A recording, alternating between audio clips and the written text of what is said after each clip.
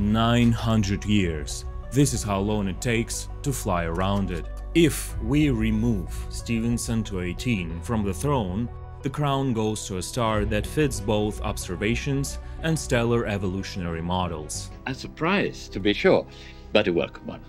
Meet the significantly accurate largest star of the universe, red supergiant cluster 1 F01.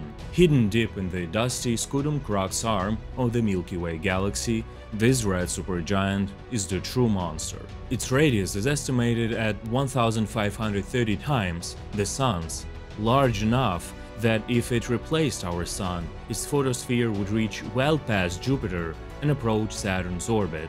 A commercial airplane circling the Sun would take about 7 months.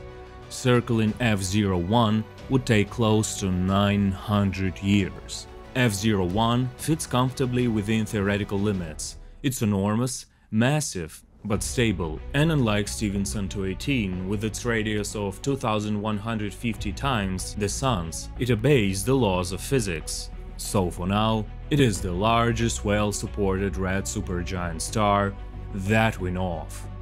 Thank you for watching, don't forget to subscribe and share your thoughts down below.